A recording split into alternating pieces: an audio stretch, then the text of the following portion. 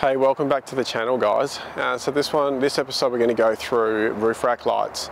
Uh, the ones I've chosen are a dual colour in, in, a single in a single light. So you've got your normal white light and then you've got like an amber light in the bottom for keeping bugs and stuff away um, and it's just a nice light when you're camping. Um, so I'll go and show you which ones I've chosen and I'll show you how I've wired it in the car, what switches I used, um, how I ran it through the roof rack. Uh, yeah, let's have a look.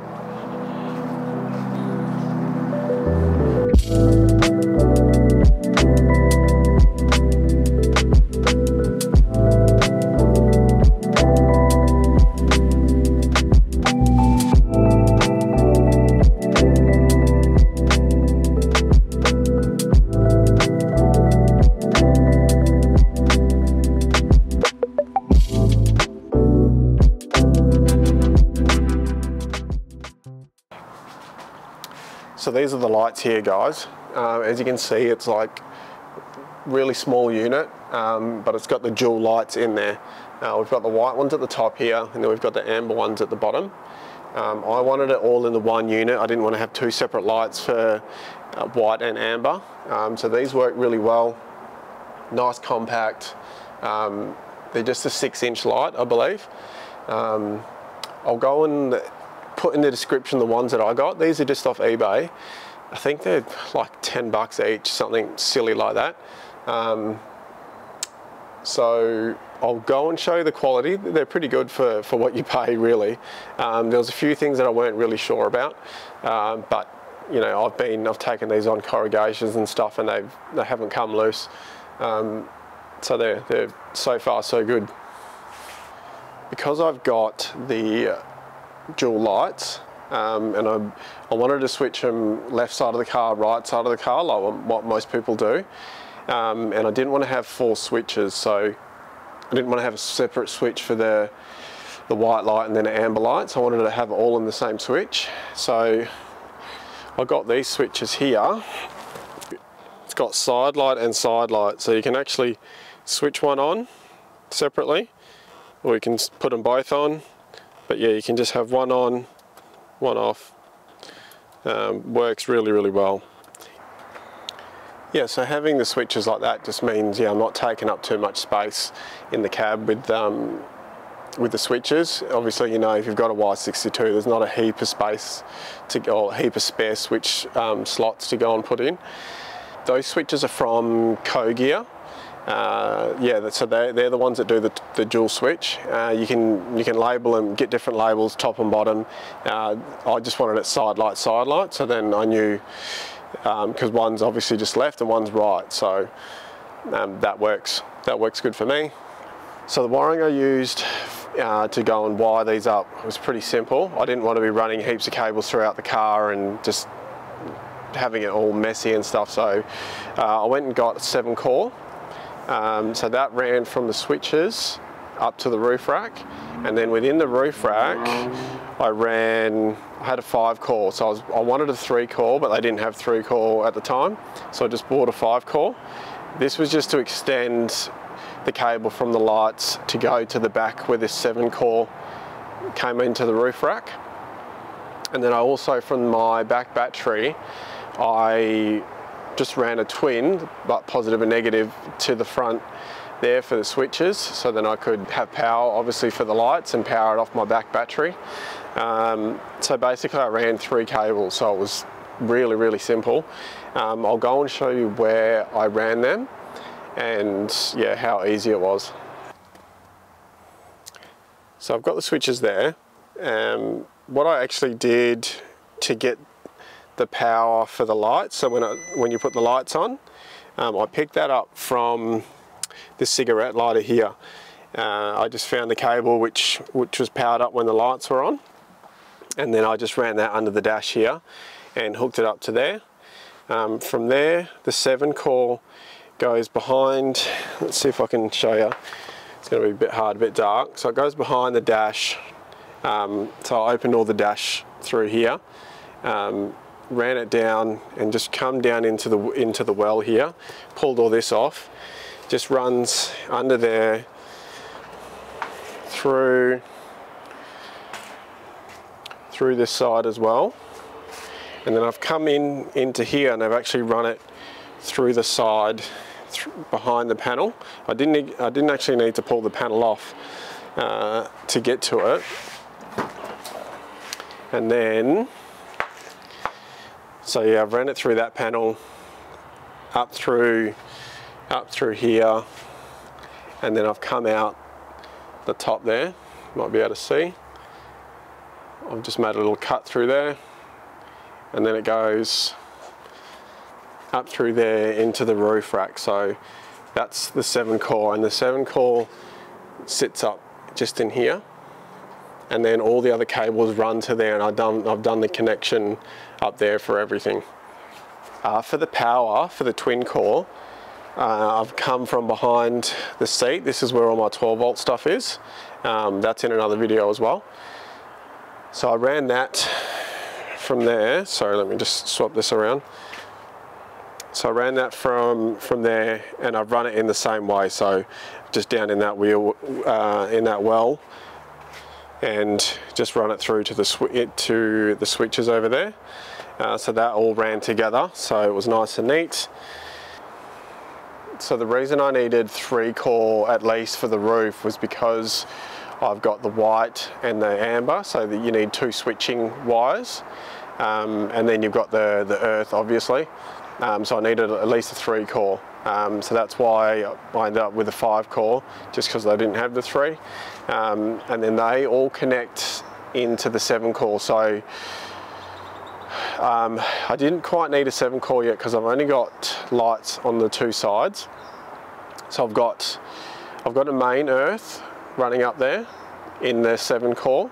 And then I've got white and amber um, for the left side white and amber for the right side and I've allowed for lights to go on the back so um, that will take up all seven wires. I'm not sure if I'm going to put them on the back yet only because the, where the roof rack sits um, it sits a fair way back and then when I'm going to use them is mainly while I'm camping and I've the setup I've got is with the fridge obviously in the back and then um, a cooktop and stuff in there. So I'm going to have the boot open most of the time. So it's, I, I guess it's going to kind of be a waste if I have them up there because they're not really going to get be used. Um, but I'm not sure yet. I've got enough lights to go and do it. But I'm probably going to put some lights in the bottom, in the tailgate. So when the tailgate goes up, the lights are going to shine down. Um, let us know what you guys have done if you, what lights you've got in the tailgate um, and if they work really well when you're camping because I'm, I'm look to, looking to go and do that next. Uh, so yeah, chuck that down in the comments, uh, that will be really helpful. So here you can see how far back the roof rack sits. So the angle, the angle for the lights is, you know, it's not really going to work that well. Um, I could make a bracket or something to extend it out, um, but I'll show you when the tailgate's open. So that's with the tailgate open. So yeah, you can see that the lights are going to be obviously pretty useless when I've got that open. Um, so I'm thinking to have just something in the bottom there that, that shines down and gives me light here. So I've got the ARB base rack and so what I did to go and get the cables through to the back, uh, I've just drilled a little hole in the side here. There's a little hollow in here. Well, there's a couple different hollow sections. So I've, I've drilled the cable into there. I extended it first. So I've extended it through to the back light. So then these, these two are connected on the one switch. Um, so that was really, really simple. The new, the, the ARB base racks make it very, very easy to go and wire your lights and have it look nice and tidy. To get access to the, the roof rack, you just have this plate on normally, and it's just got two screws, and you literally just unscrew those two screws, this comes off. Um, there's a bottom plate, which I've got there, that just comes off. And then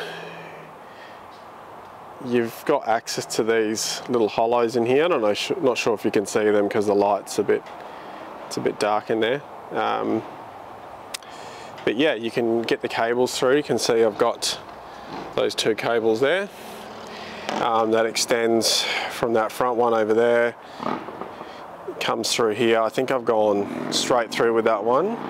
Um, oh no, I've done a connection there for these two, two lights together and then they extend over to this one um, and that's where I've done the main connection from uh, to the 7 core.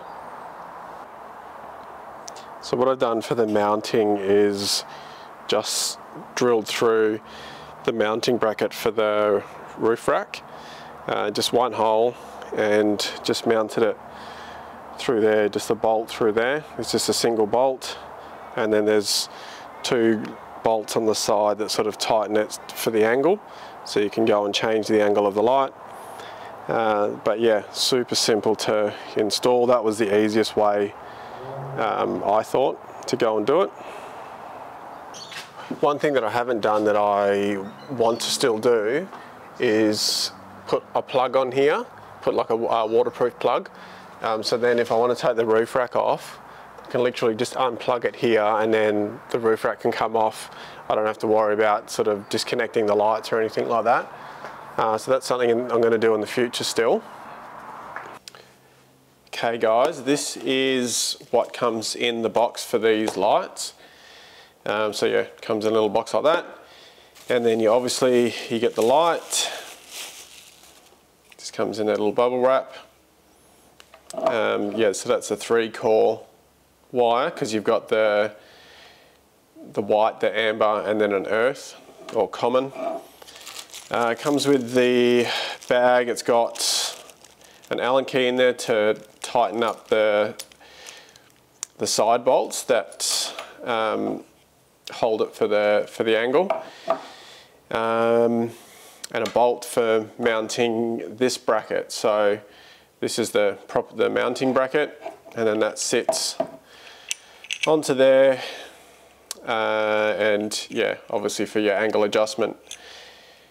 The build quality of these lights is is pretty good especially for the the price that you pay for them.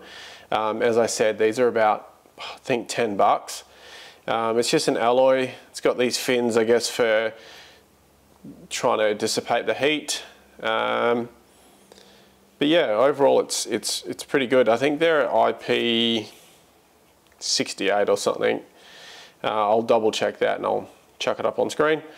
Um, the thing I didn't like about these was just the bolt for the angle adjustment to mount this bracket onto here, it comes with these little square um, nuts and you drop them into, there's a little slot here, you drop them into that and then this bolt sort of screws in from the side to hold it in.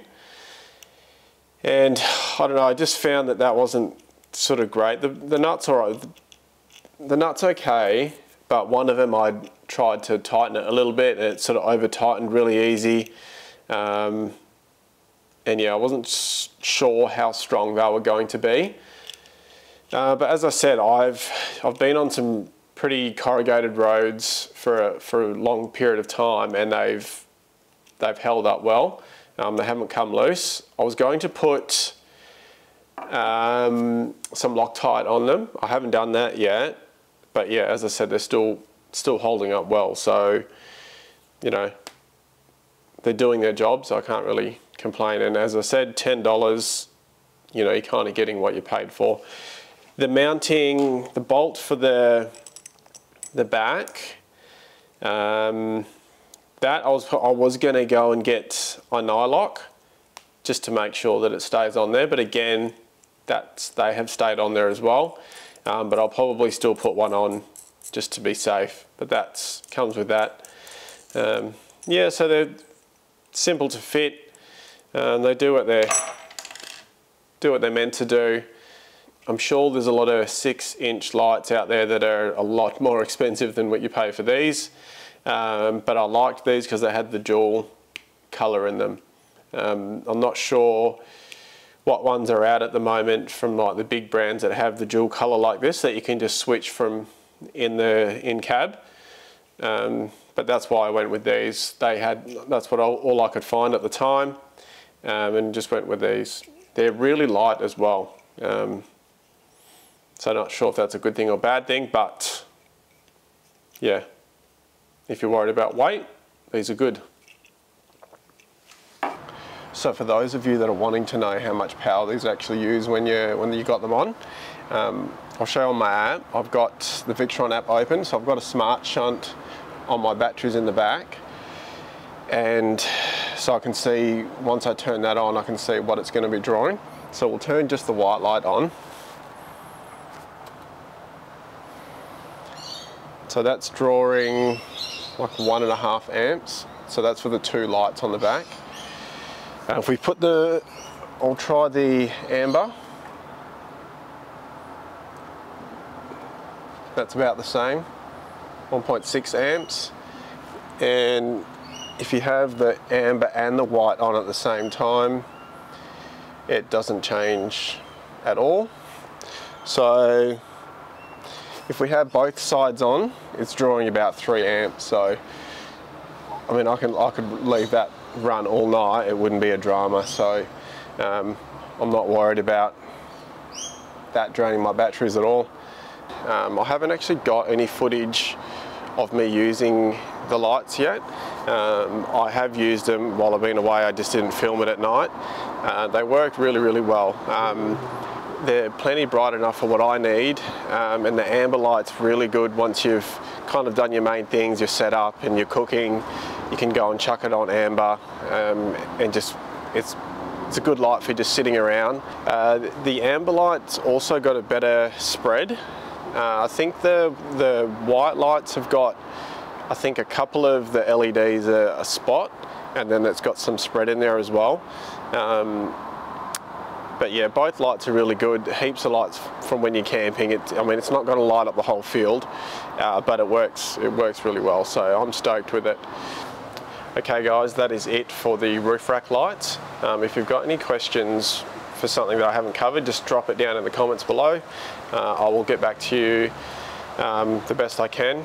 And for the next video, I'm going to be covering my 12 volt system. So I've got two separate systems in this uh, with a combined amperage of 350 amps of lithium. Is that too much? Is that not enough? Watch for the next video.